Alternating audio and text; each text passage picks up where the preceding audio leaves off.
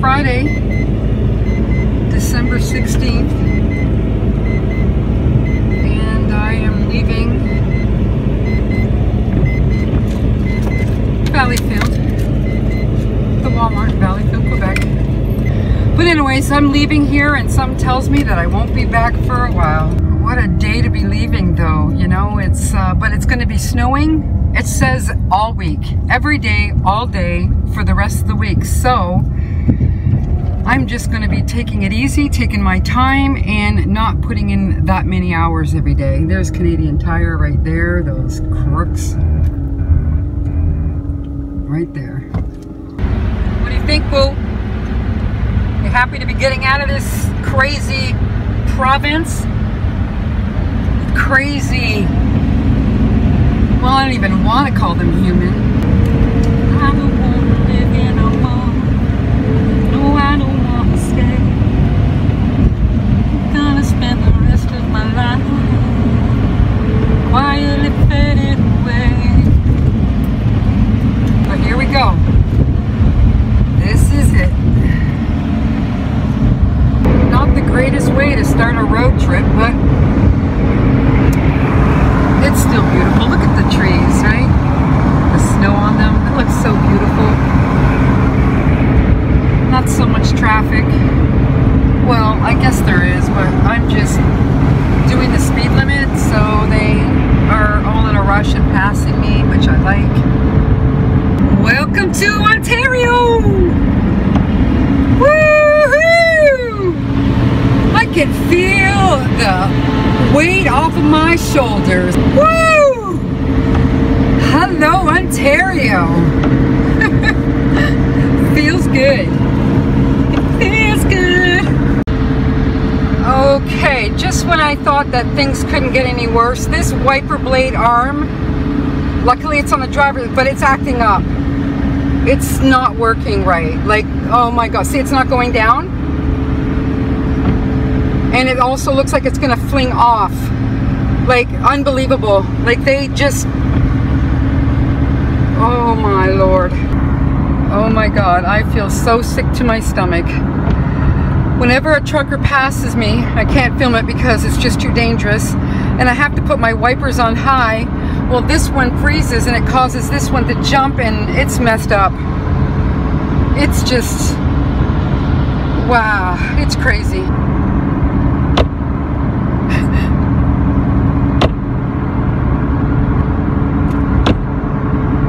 Look it. Now it's not even going up at all. See that?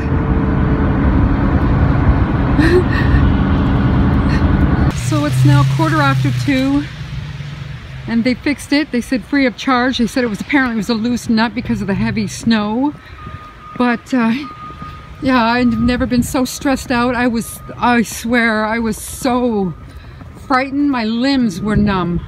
Anyways, I'm happy you're okay, girl. Wiper blades are so quiet. What a difference. Apparently it was a loose bolt. Yeah, I don't think that was by accident. Not the greatest traveling conditions, that's for sure. Oh, this is exactly what I didn't want. You see, isn't it ironic that your fears always come to fruition?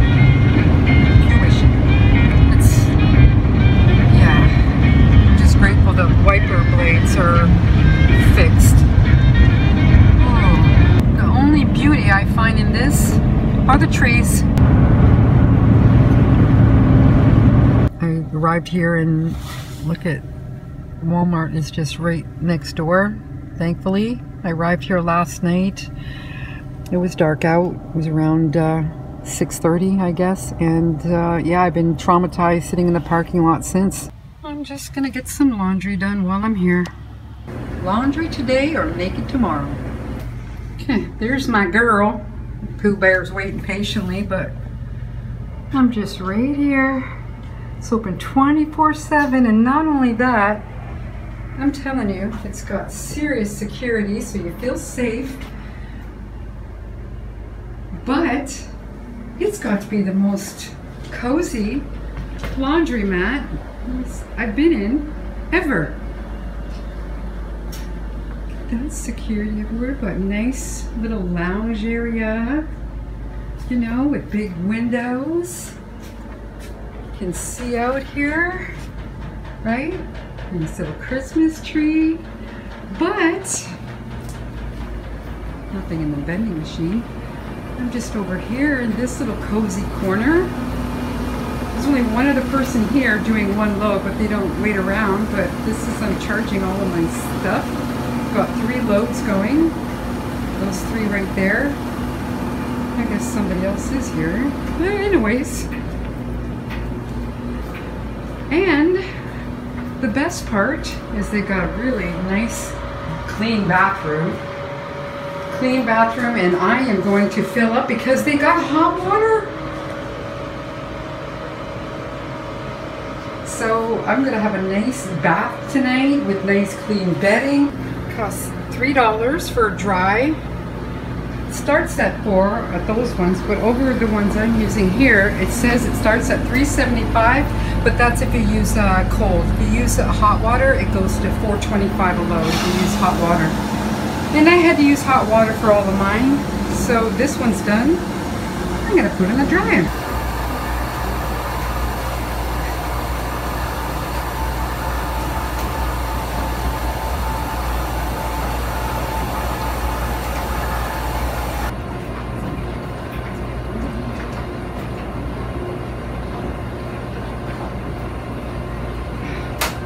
A cozy little mat, right? Laundry mat. And uh, Walmart is just a couple minutes up the road, but here's my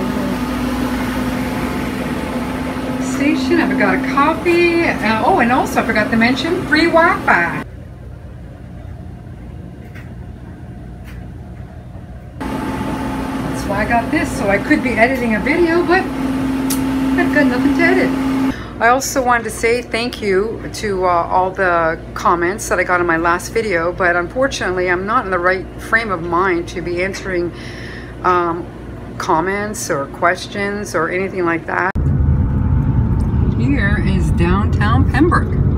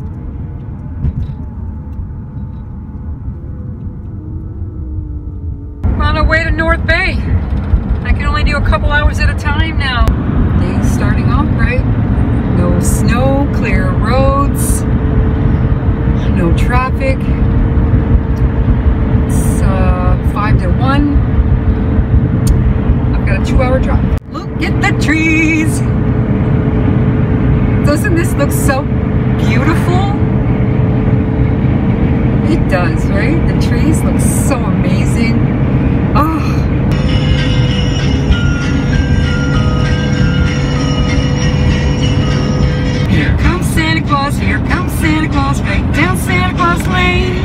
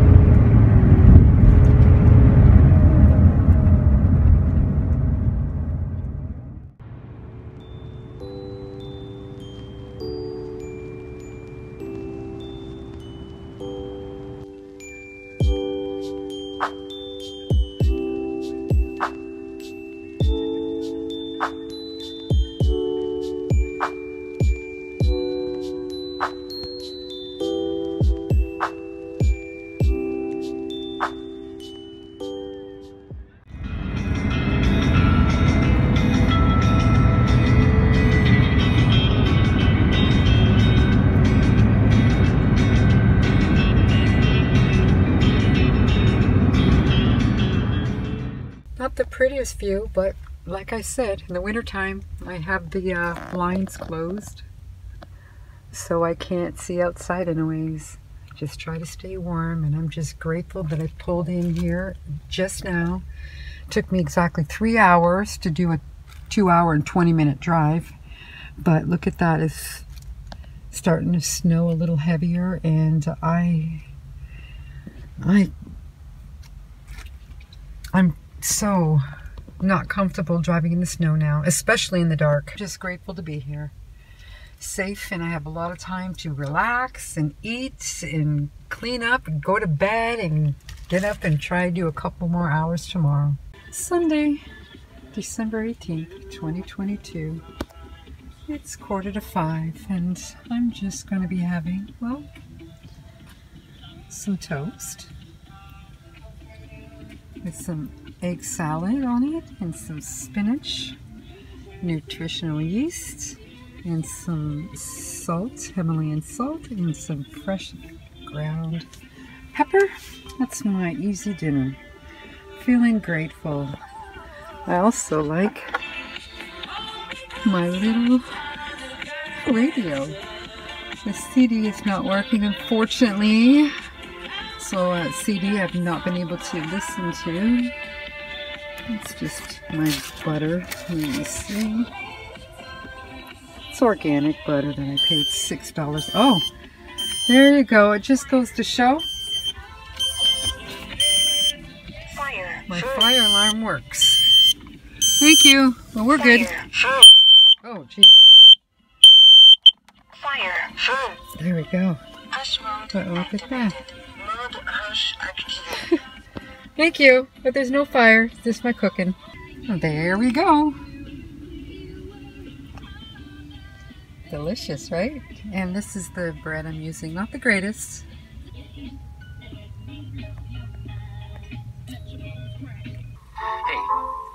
every little bit helps, right?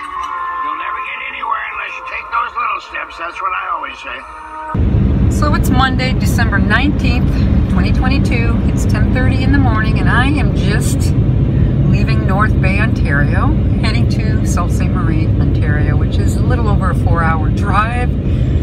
So hopefully I'll be there before, before dark. That's my goal. I cannot drive in the dark or snow. Look, I see a snowflake. Panic. Noticing me.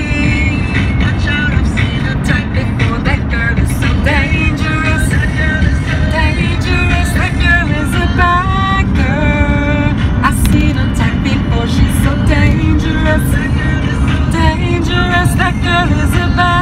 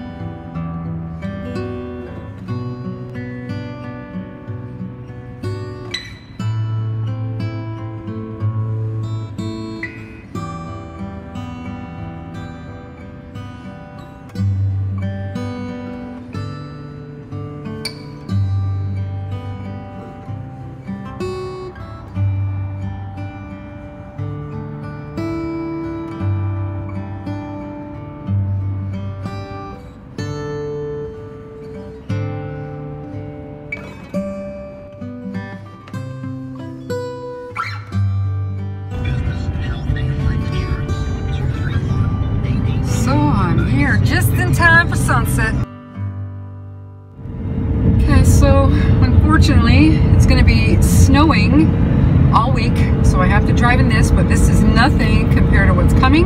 It's Tuesday today, December 20th. But uh, come the weekend, it's going to be a blizzard Friday and Saturday. So I want to get out of here before the snowstorm, blizzard, and everything. Um, and I'm just heading to Wawa, Ontario, which is a two and a half hour drive. It's like quarter after 11 right now.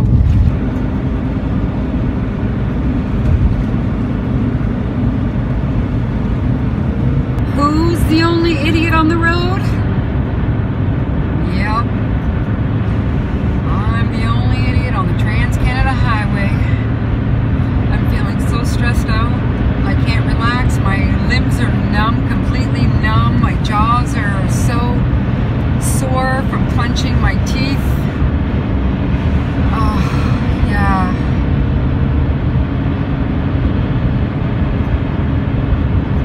I guess it could be worse.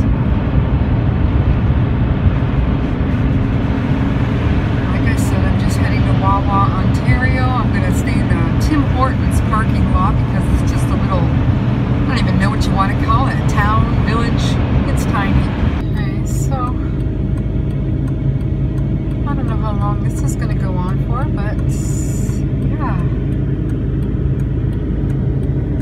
I'm still about an hour and a half away from Wawa. I feel sick. I feel sick from this. I just want to be parked and safe.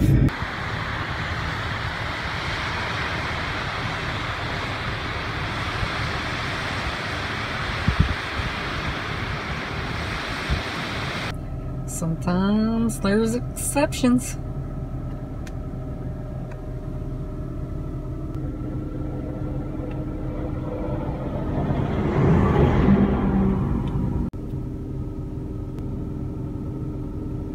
I had the last of these eggs.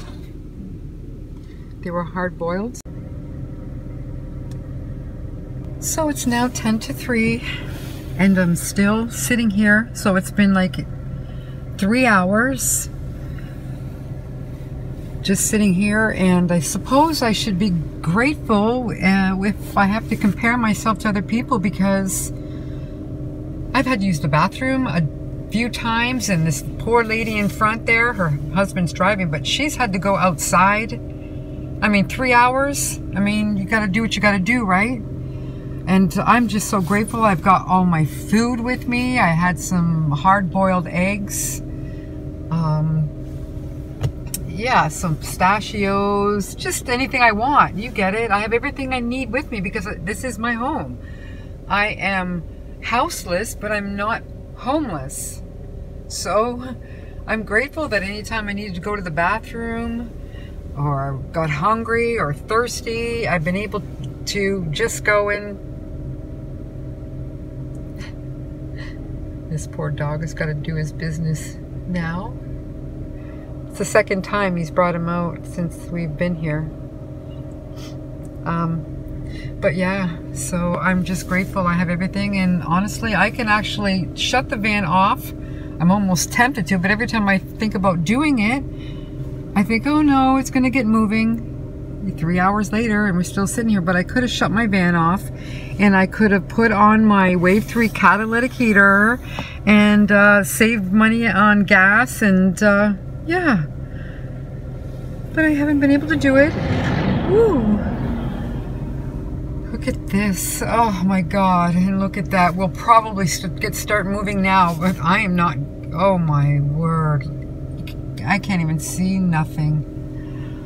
My heart is going so fast right now. And if I am not, if my dark hair is not all white by the time I get to BC, I'll be surprised because I cannot even manage my stress level as much as I try when I'm driving in this.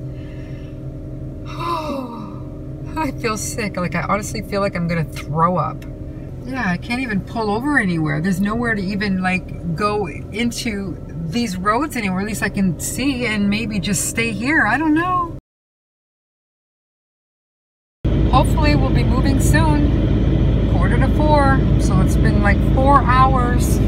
I've been sitting here, not just me, all these people too. And I'm probably a lot more blessed than any of them. that I know. If you look right there, yeah, that's what they had to do. You know, gotta do what you gotta do. So it's that time. And I uh, decided to turn on the heat, turn off the van. I'm gonna make myself a coffee. Just boiling some water, you can't see it. But anyways, never thought that I would just be parked right literally on the Trans-Canada Highway we're not moving. And if, uh, if it gets really bad, there's actually, I'm going to pull right into this driveway right here. Right here. It's the closed um, seasonal motel that was there. I just pulled up ahead because people left, as you can see. And uh, yeah, so if I have to stay here, I'm just gonna I'm just gonna park right there. I'm just gonna move right in there, not too far in so I don't get snowed in or stuck, so I can back out easily. And uh, yeah, but see, I'm really grateful for this right now. I really, really am. Like I'm gonna have a coffee. I'm gonna relax. Bring Pooh back there with me, and uh, yeah, I shut everything down. Got the windows rolled down a little crack there on each side. Oops. And yeah. So I am pulled off of the road right into this can't see it the motel here but anyways yeah, I am staying right here. There's a house right here, so if I have an emergency, well, you know, everything's perfect. I don't care what anybody says, I'm staying right here. That's, we're not moving. I just called in and they said it's closed. Highway 17 is closed. Algoma or something, and so, yeah, I'm staying right here, right in this, I just pulled off it was so perfect and yeah you see people are leaving they know that they're turning around and going back towards Sault Ste. Marie I'm not driving another hour back not with the price of gas I'm scared that I might not even have enough to get out west I left at 11 about quarter after 11 a.m. two and a half hour drive you know so Murphy's Law certainly happened you know if anything go wrong it will well, yeah, it did for sure. That's the temperature. That's the time. And I am still sitting here on the highway. Look at that's my water. It's like slush. So cold. Okay, the highway's reopened, just reopened. People are slowly heading out. So, that's exactly what I'm going to do. Oh, thank God. So it's 10 o'clock in the morning. I don't know how far I'm going to drive. It was simply closed because of the um, bad weather. Like, this is a really bad stretch.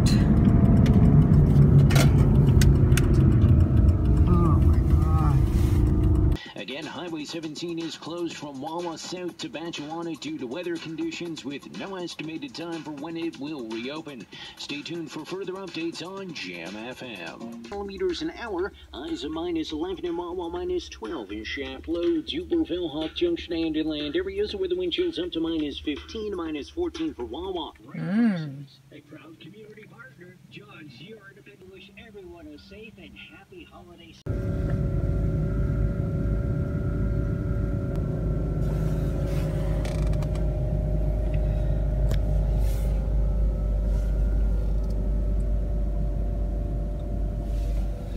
Wawa, Ontario, Tim Horton parking lot. That's where I slept last night. It's Thursday, December 22nd, 2022.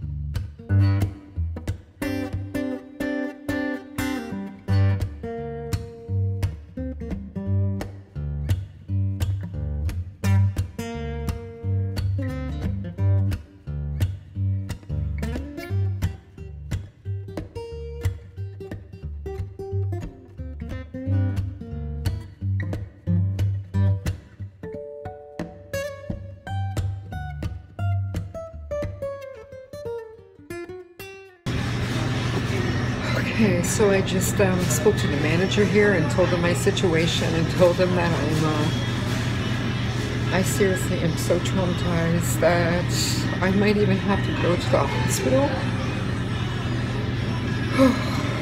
um, a trucker came right into my lane and if I didn't move, I had to move over, but it was into the snow and I lost control of my van and I really thought I was going to crash but I, if I didn't move, like pull into the snow, he would have hit me. It was just so close. It was so close. And anyways, um, so the manager said that I can stay here as long as I want. I told when I told him my situation, and he even said that he would drive me to the hospital if I need to.